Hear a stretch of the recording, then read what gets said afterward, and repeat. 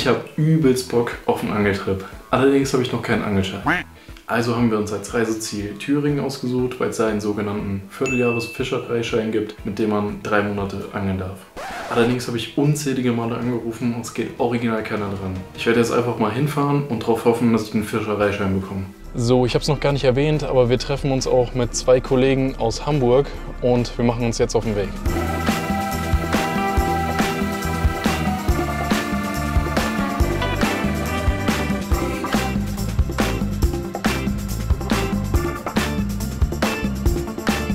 So, ich bin gerade angekommen. Wir haben jetzt ungefähr 23.30 Uhr. Ich warte jetzt noch auf die anderen beiden. Die sollten so in anderthalb Stunden da sein. Und morgen geht's weiter. So, wir sind angekommen an dem Gewässer. Die anderen beiden sind aus Hamburg auch angekommen. Und ich habe mir meinen Angelschein bei der Stadt geholt. Gab keine Probleme. Und jetzt suchen wir uns noch den richtigen Spot, um die Fische rauszuholen. Und dann geht's weiter. Also, wir sind jetzt am Beach angekommen. The Beach? Das ist unser äh, persönlicher Beach hier. Ähm, genau. Hier stehen die Hechte. Ich sehe das. Ja, wir gucken jetzt mal. Die Strömung ist natürlich echt doll. Ist natürlich für Forellen eine geile Geschichte, aber das ist schon Zeit gerade. Ähm, deswegen, wir gehen ein bisschen auf Hecht. Mal gucken, was uns so erwartet. Er bereitet sich hier gerade vor mit seinem Stativ. Erstmal schön Kamera aufstellen, ne? So. Upsi. Ich stelle mich hier drüben hin. Die anderen beiden sind auf der Seite. Ich habe mir mal eine Spezi mitgenommen. Ich habe die noch gar nicht getrunken, das ist diese andere Spezi. Ähm, das ist gar nicht die richtige. Aber muss man mal probieren. Petri Heil! Petri Heil.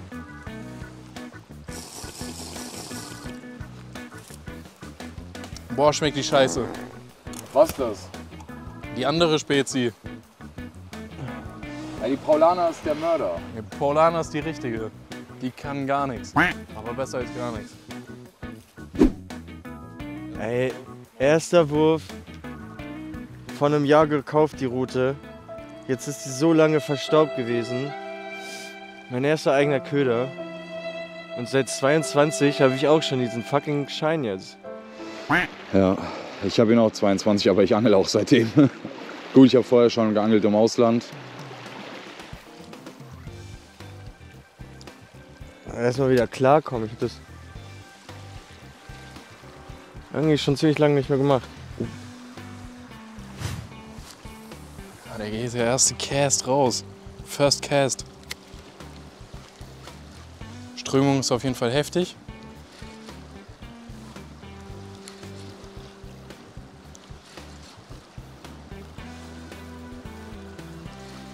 Boah, die Strömung ist richtig heftig.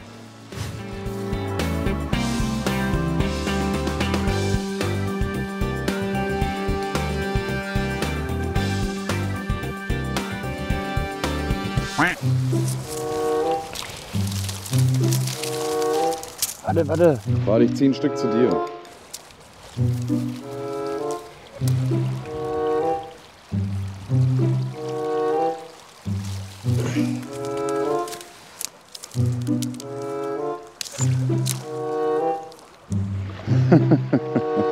Ich wusste schon, dass wir Gummistiefel brauchen.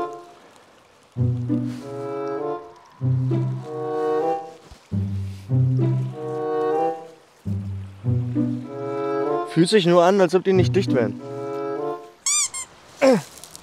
Oh, es ist, es ist, es ist passiert. Digga. Der hat bestimmt 20 Minuten gebraucht, um die Schuhe auszuziehen. Ich hab dich, mein Kind. Geil, Alter. Ich kann Gummistiefel ausziehen. Hä? Hast was dazu zu sagen? Ja. Gummistiefel sind toll, aber ich brauche ein How-To, wenn die Scheiße auszieht. Oder an. Heiliger. Aber die haben Köder gerettet. Einfach unfähig, Digga. Möchte ich kurz erwähnen, dieses Outfit ist doch ein Angler-Fit.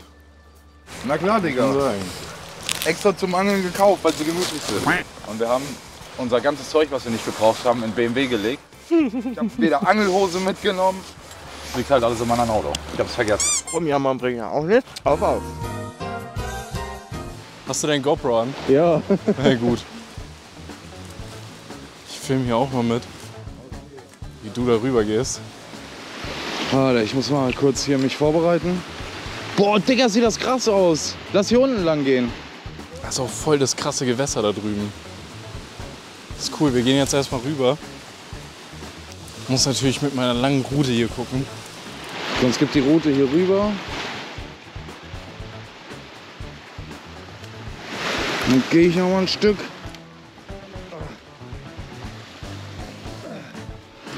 Wir müssten jetzt gucken, dass wir hier vorne, hier ist ein bisschen lichter, aber wir hier rechts rumkommen. Ist natürlich kacke, ich kann meine Route auch nicht teilen. Also ich muss im Ganzen mit der darüber. Aber hier kommen wir irgendwie durch.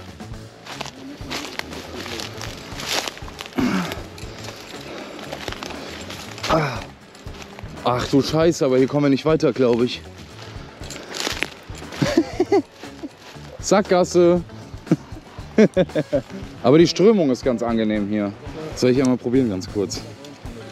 Mit dem Köder wissen wir es ja. Puh. Eigentlich ganz cool. Wir gehen weiter. Boah.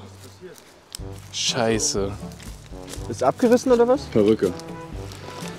Hat äh, Rückspanner gemacht. Scheiße. Kannst du hier vorne mal auf Spannung ziehen einmal. Scheiße, einfach abgerissen. Nachdem wir heute leider nichts gefangen haben, haben wir uns die Hotdogs zum Abendessen gemacht und wir probieren es morgen nochmal. Moin Meister! Servus. Servus, grüezi, was geht? Ja, gerade mal zusammenpacken hier, ne?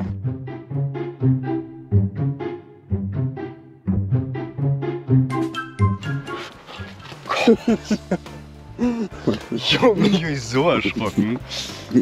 Zuerst mal zusammenpacken, dann geht's ans nächste Angelgewässer. Yes. Hier haben wir nicht so äh, die, Erfolg, äh, die Fangerfolge gehabt, weil es hier ein bisschen äh, starke Strömung ist. Und deswegen fahren wir noch mal ungefähr eine halbe Stunde weiter an den Teich, wo wir dann ein bisschen seichtere Gewässer haben und dann hoffentlich was fangen. Genauso wird's gemacht und dann wird's automatisch krass.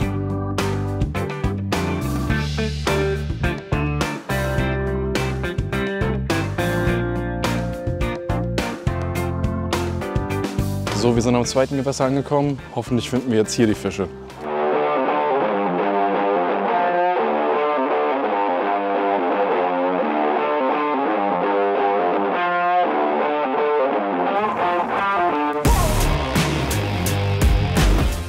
So, ich bin auch bereit.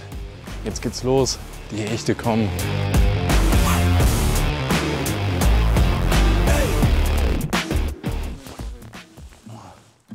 Da sitzt er. Pass auf.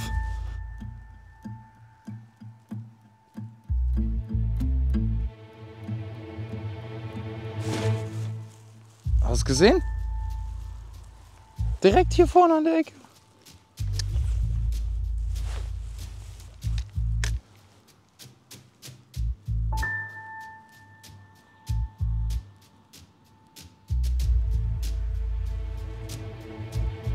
War es ein Biss oder war es kein Biss?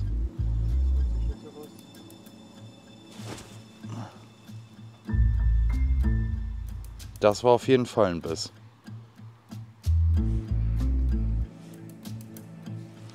Aber ist nicht hinterher geschwommen. Das zweite eben war definitiv ein Biss.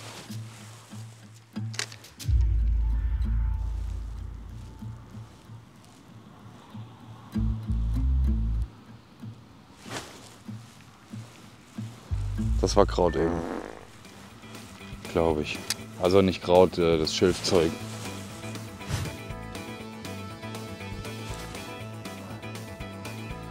Huh, ha, ha, ha. Chaka, chak, chak, chak. Bam, bam, bam. Ob wir hyperaktiv sind, würde ich so nicht sagen. Wir sind nur hier, um die Fische zu jagen. Setz dich ja Folge rein. Ich bin der Flow Reporter und ich habe eine Schraube locker. Ist nicht geklaut von Tarek KIZ. Oh. Was war das? War ein Biss. Fisch! Fisch! Abriss! Du hast gesehen. Safe! Gleich wieder raus. Da war ein Fisch. Nein, warte, warte, warte. Ich dachte erst, es ist Kraut. Aber das war Fisch. Das war Fisch. Der hat schön am Köder gezuppelt. Nee, nee, Ja, ja, der steht da, gleich wieder raus. Ja. Hast du gesehen? ja. Der ist sehr weit vorne, ne? Ja. Der steht direkt hier vorne. Ja, hier, hier vorne. Oh, ich habe ihn gesehen, ich habe ihn gesehen. Ich habe ihn gesehen, er ist hinterher geschwommen. Das war aber ein kleiner Hecht, ich schätze so 40er oder so. Aber übelst vorsichtig.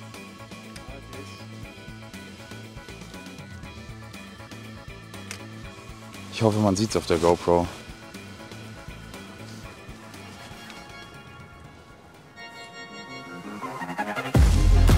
Fisch. Fisch. Kescher. Geil. Geil, Digga. Der ist schon direkt hier vorne. Geil. Ich mach mal kurz die Cam. So. Da ist er. Erster Fisch. Der erste Fisch. Petri, Digga. Petri. Schönes Ding. Wieder rein? Ich weiß nicht, messen ist zu klein auf jeden Fall. Wir brauchen hier 50. Ja, 50 ist das Minimum. Geht er. Ciao. Digga, der ist jetzt drei, vier Mal hinterher geschwommen.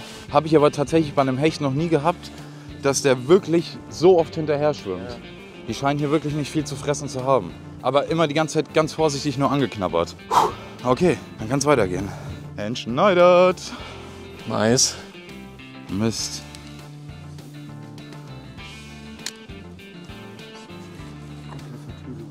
Ja, das ist komplett einverleibt, das Ding.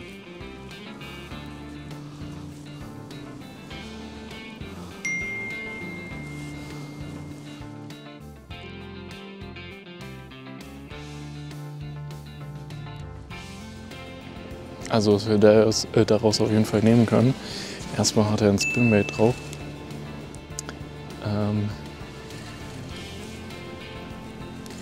also kann gut sein, dass er das über Seitenlinienorgan gemerkt hat. Da ist ein Knoten in der Schnur drin. Fisch? Oder Kraut? Ja, mal, Pescher, geh mal hin. Kloppfisch. Ich schmeiß mal meinen Köder zur Seite.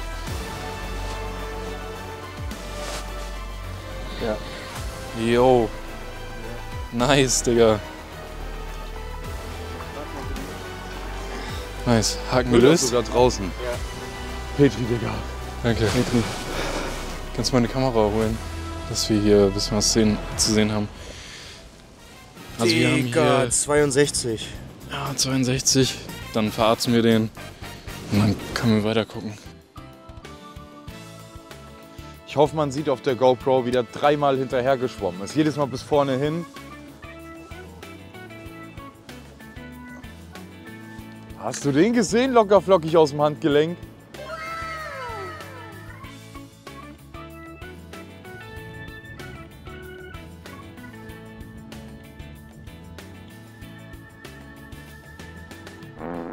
Die Akkus von beiden Kameras sind noch leer geworden, deswegen sind wir jetzt einmal bei mir zu Hause im Garten.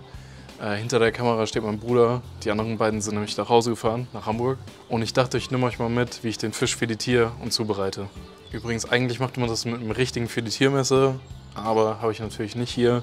Deswegen mache ich das hier einmal mit dem Küchenmesser. Und zwar fängt man einmal hier vorne an, wo die Brustflossen sind. Hier hinter dem Kopf setzt man dann einmal durch die Haut einen geraden Schnitt bis auf die Wirbelsäule. Merkt man dann auch hier, dass man den Widerstand hat. Dann dreht man das Messer so nach hinten und schneidet nach hinten auf der Wirbelsäule entlang.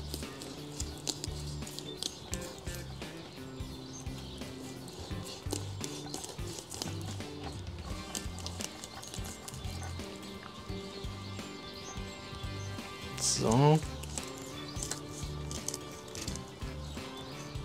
Das ist übrigens das zweite Mal, dass ich ein Hecht filetiere. Also ich bin jetzt auch kein Profi auf dem Gebiet.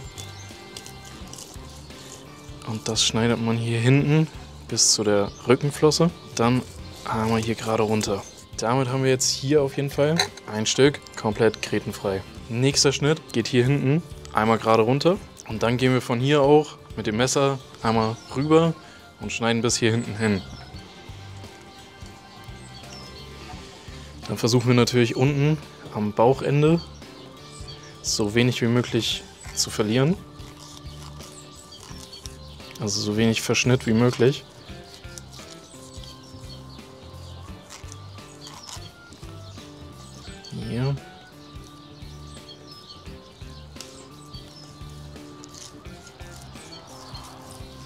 Dann hier hinten, wenn man hier angekommen ist, kurz bevor man zu Ende ist, einmal absetzen. Na. Das Filet einmal nach hinten drehen. Dann können wir hier einmal mit dem Messer ansetzen und Richtung Haut schneiden.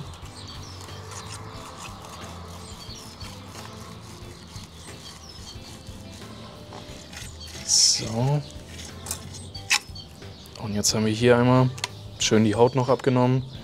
Auch hier grätenfreies Stück.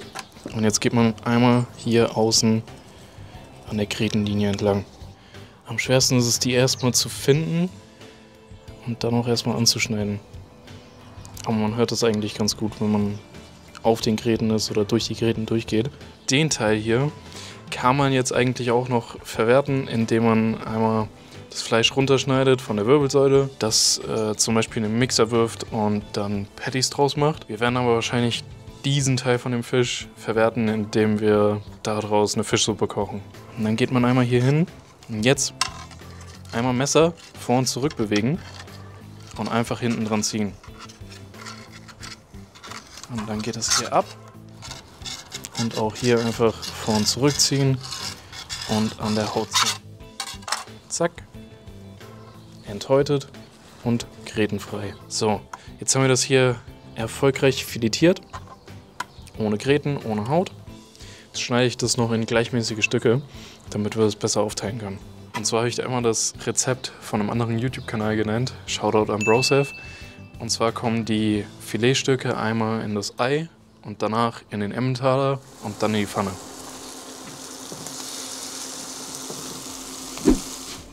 So, ich nehme mal das erste Stück vom Hecht. Mm. Ja, ist richtig gut geworden. Ich hoffe, das Video hat euch gefallen. Lasst doch ein Abo da, damit ihr in der Zukunft nichts mehr verpasst.